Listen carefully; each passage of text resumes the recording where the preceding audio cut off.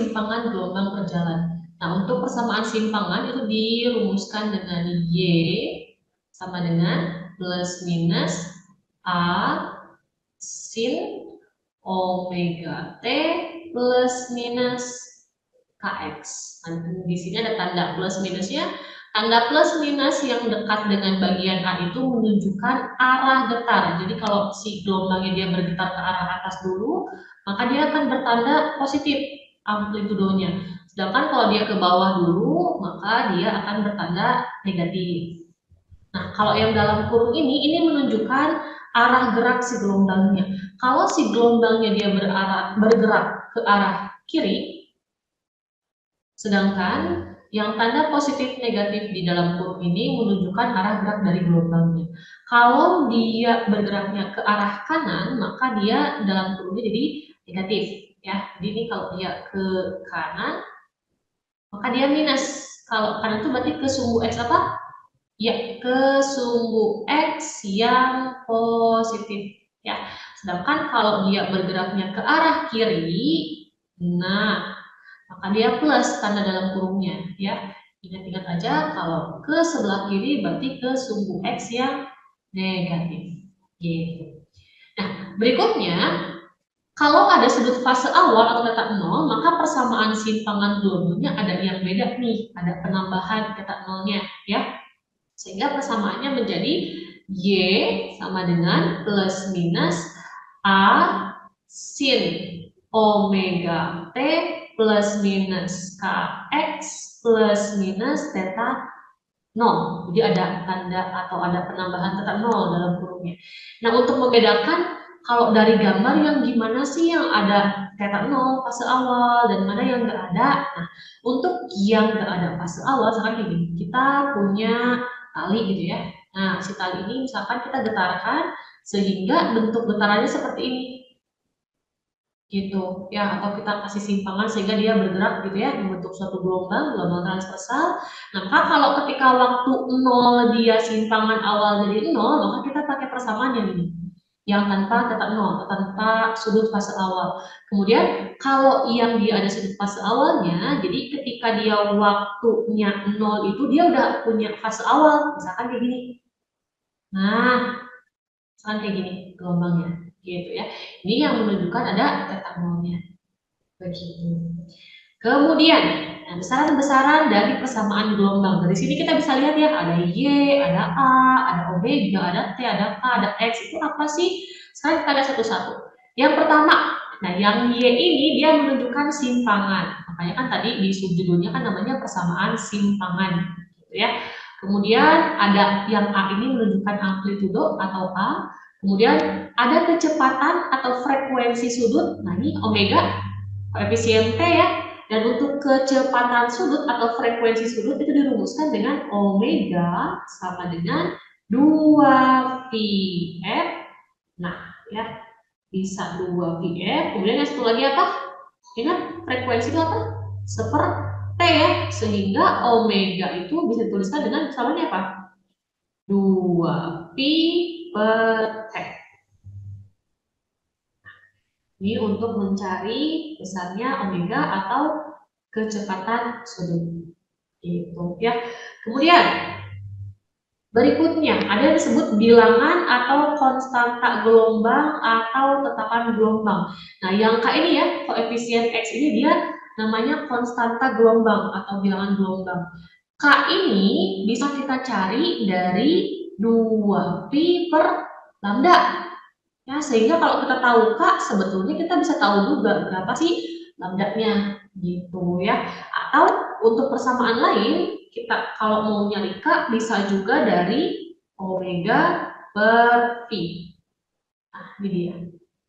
K sama dengan omega per pi. Omeganya apa? Omeganya ini. Omeganya adalah kecepatan atau frekuensi sudut, sedangkan untuk V-nya adalah kecepatan gelombang atau cepat lambat gelombang. Berikutnya ada cepat lambat gelombang. Untuk cepat lambat gelombang, apa rumusnya? V sama dengan lambda dikali F. Sudah apa lagi? Sama lain untuk mencari kecepatan apa? V sama dengan lambda per Atau kalau kita udah tahu persamaan dari persamaan simpangan gelombang ya, V itu bisa dicari dari persamaan omega per K. Nah, omega itu apa? Koefisien T, sedangkan K itu adalah koefisien X. Nah ini, jadi kalau yang nempel sama T itu pasti omega, selalu always. Kalau yang nempel sama X itu selalu K. Gitu. Ya. Oke, berikutnya keterangan dari besar-besaran yang tadi. G-nya adalah simpangan, satuannya adalah meter, kemudian A-nya adalah simpangan terjauh atau amplitudo atau simpangan maksimum, satuan juga meter. Lalu ada omega, kecepatan sudut, satuannya radian per second.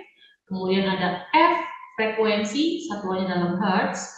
Lalu periode, T besar, satuannya second. Kemudian K, bilangan gelombang, satuannya meter pangkat min 1 atau per meter.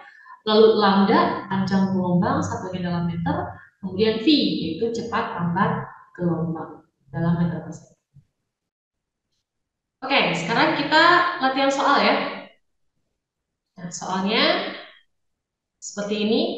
Katanya suatu gelombang berjalan merambat dan memenuhi persamaan Y sama dengan 6 sin 2 pt min 0,2 X dengan X dalam cm dan T dalam second.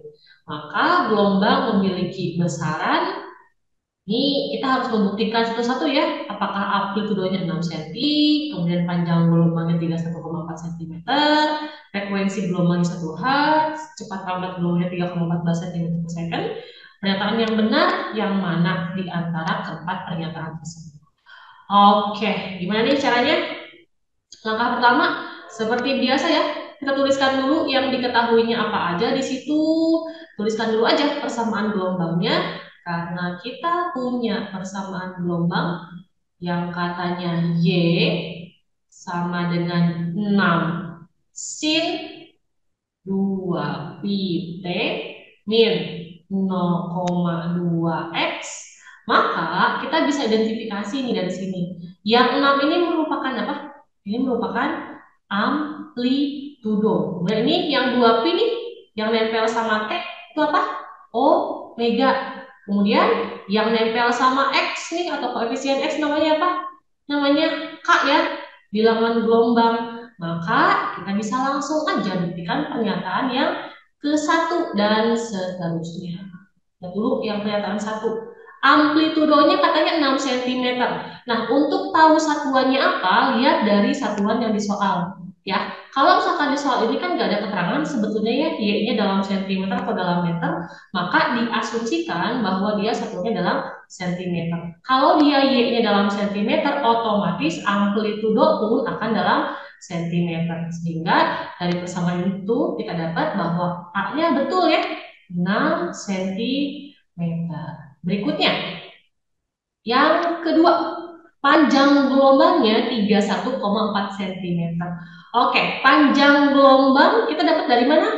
Dari K ya, dari tetapan gelombang. Kenapa? Karena yang namanya K itu adalah 2 pi per lambda. Sehingga untuk mencari lambdanya sama dengan apa? Sama dengan 2 pi per K. Nah, kita masukin K ya dari soal. Berapa tadi K-nya? K-nya 0,2. Sehingga yang ini duanya bisa kita coret ya sama yang atas sama bawah. Bawah 0,1 0,1 naik ke atas jadi 10 ya. Maka hasilnya adalah 10 dikali pi. Kalau pi nya kita ubah berarti 10 dikali 3,14 sehingga hasilnya 31,4 satuannya dalam apa? Satuannya dalam sentimeter. Kenapa dalam sentimeter? Karena di sini nih di soal juga dikasih tahu bahwa si X-nya itu satuannya dalam sentimeter. Kalau X-nya senti, maka otomatis dia si K-nya dan lambda-nya nanti di dalam senti juga. Gitu ya. Oke, kita lanjut. Berikutnya, yang ketiga, frekuensi gelombang. Untuk mencari frekuensi gelombang, tahunya dari mana? Atau kita dapatnya dari mana? Dari omega. Karena yang namanya omega itu adalah 2 Pn ya sehingga untuk dari F-nya sama dengan omega per 2 pi. Kita masukin aja omeganya berapa? Omeganya 2 pi kan ya? 2 pi per 2 pi ya hasilnya 1. Satunya dalam hertz. Gitu. Berikutnya, yang keempat, cepat rambat gelombang. Katanya disebut 3,14 cm per second. Untuk mencari cepat rambat gelombang, mau pakai persamaan yang mana?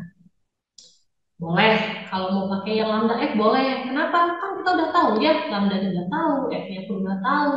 Ya boleh-boleh aja. Sekarang kita coba masukin kalau pakai yang V sama dengan lambda dikali F, maka lambdanya tadi dapatnya 31,4.